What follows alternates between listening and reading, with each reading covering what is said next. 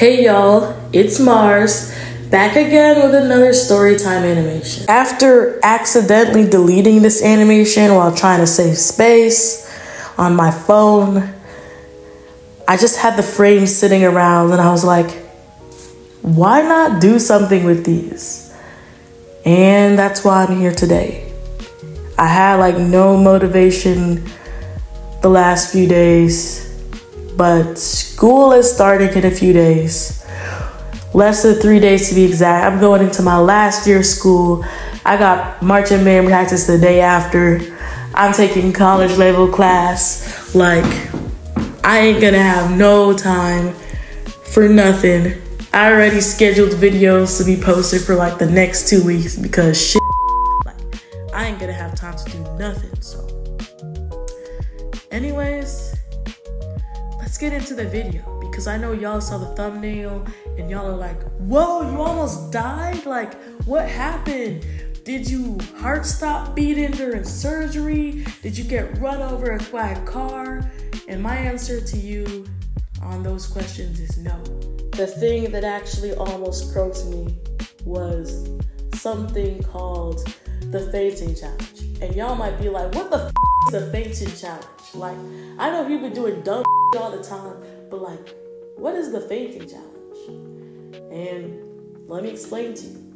So, a few years ago, teenagers decided that it might be kind of fun if they cut off their air supply or cut off their friend's air supply to the point where they lose consciousness, you know, just for fun and games. And you might be like, that sounds dumb as fuck.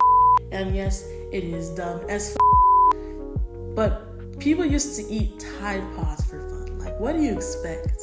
Instead of me deciding to do the fainting challenge because, oh, my friend said it was gonna be fun or something, I decided to do it because, well, I had just never fainted before. And for my Curious George type, like, if I haven't done anything before, like, that just makes it fun in itself. The fact that I haven't done it. So I was bored home alone and decided why not cut off my air supply for a few seconds because that might be fun. And I do not know how dumb the people watching my videos are, but do not take this video and say, oh, Mars told me to do it. No, Mars did not tell you to do this dumbass.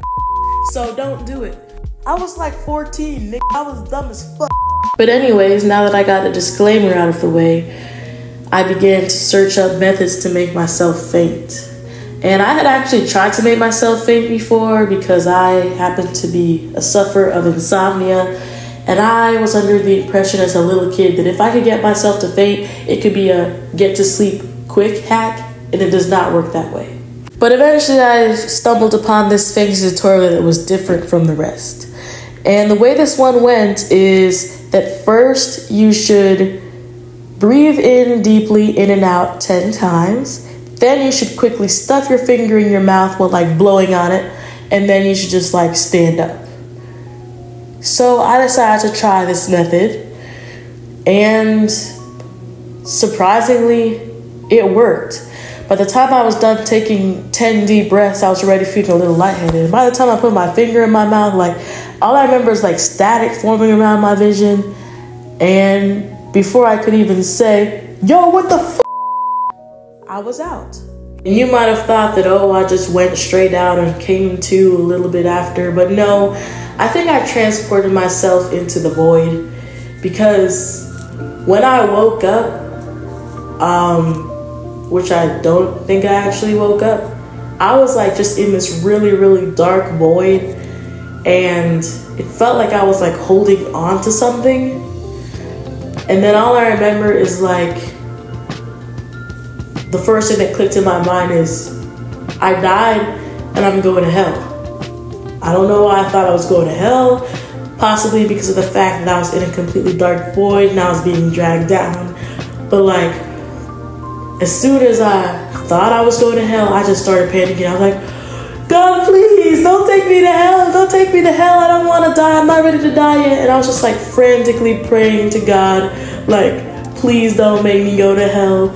I'm not ready to die yet. and it just felt like I was being sucked down into this vortex. Like y'all know them rides that go around, they call it gravitrons. Like when they start going around really fast, like you can barely move anymore, but you're like spinning so fast it pins you to the wall, then eventually like sends you up in the air. Yeah, that's what it felt like. But it felt like I was on a gravitron that was sucking me down into the abyss of hell.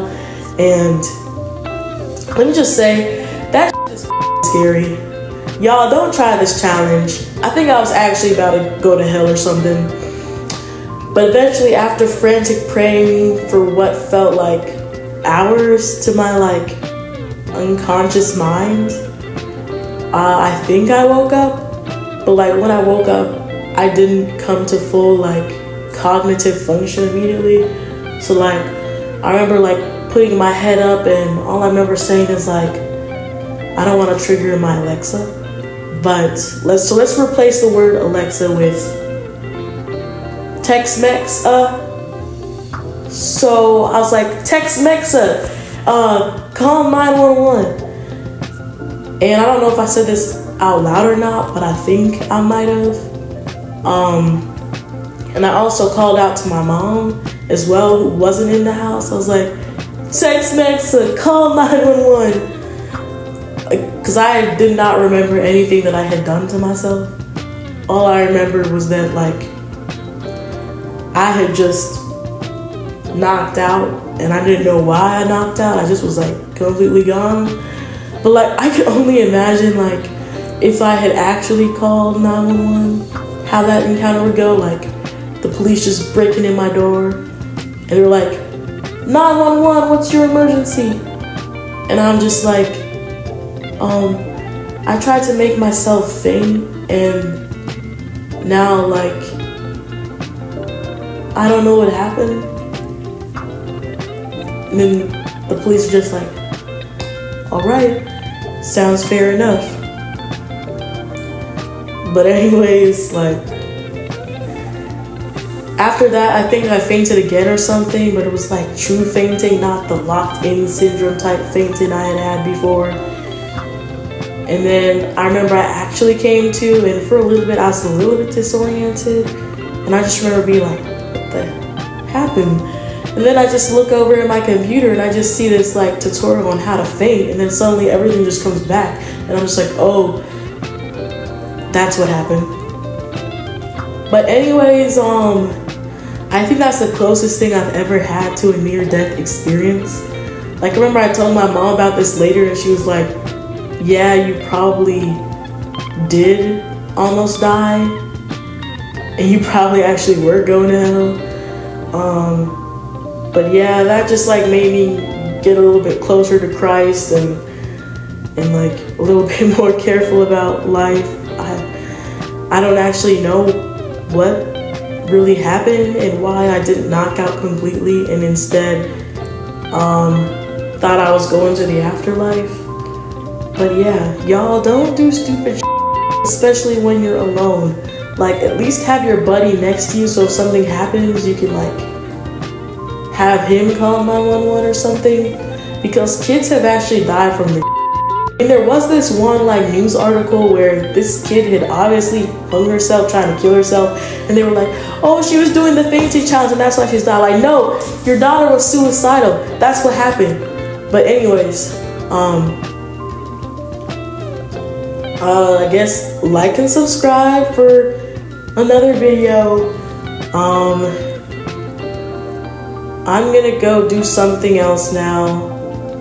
Actually, I'm just recording voice lines. I actually have to animate all this before Monday because that's when I go back to school. And I'm not trying to screw up my senior year like I did my junior year. Like, man, they have me mentally breaking down. But anyways, um, stay tuned for the next one. I might actually make more animated stories. Like if y'all got any suggestions, put them in the comment section below. I did want to do one about my experience with the old Waffle House. I mean the um Apostle House. I'm not trying to get sued. Um but yeah, I'll see y'all in the next one.